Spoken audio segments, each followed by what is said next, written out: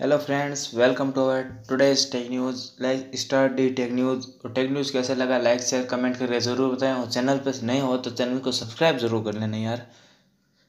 Let's start the tech news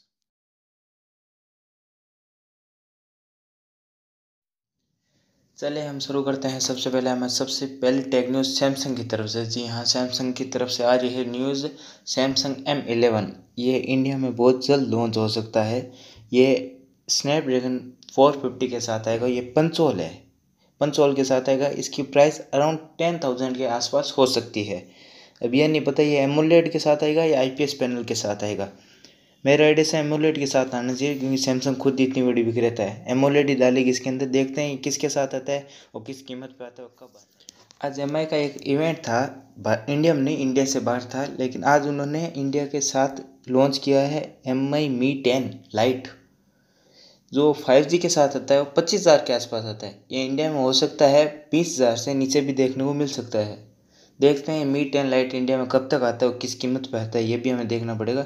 ये Snapdragon seven seven sixty five के साथ। Take news की तीसरी खबर आती है टाटा स्काई की तरफ़ से। टाटा स्काई ने की अपनी फिटनेस वैसे सर्विस है उनकी एक फिटनेस सर्विस जिनको फ्री कर दिया टाटा स्काई अगर आप टाटा स्काई यूज़र हो तो आपको फिटनेस सर्विस दी जा रही है अपने Tata Sky dish T V पर, वो एकदम फ्री हो चुकी है, ज़रूर देखना उसको, क्योंकि अभी सी ओ नाइनटीन के द्वारा आपको फ्री सर्विस अब अगली हमारी न्यूज़ आ रही है रियलमी की तरफ़ से। अगर आप रियलमी का सिक्स और सिक्स प्रो यूज़ लेते हो तो आपको मिलेगा नेटफ्लिक्स पे एच डी कॉन्टेंट आप देख सकते हैं हाँ माना उसमें वाइड वन एल वन है, फिर भी आप एच डी कॉन्टेंट देख सकते हैं एच डी में वीडियो देख सकते हैं नेटफ्लिक्स के ऊपर।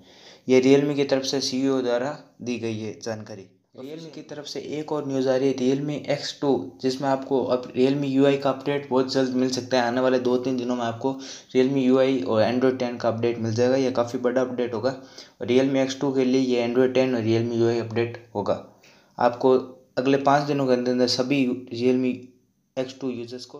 टेक न्यूज़ की लास्ट अपडेट आती है सोनी की तरफ़ से। सोनी ने अपने सभी बिज़नेस को एक ही बिज़नेस के अंदर ले लिया है यानी जैसे सोनी कैमरा सोनी मोबाइल और सोनी इलेक्ट्रॉनिक को एक ही बिज़नेस सोनी इंडिया लिमिटेड में एड कर लिया गया है।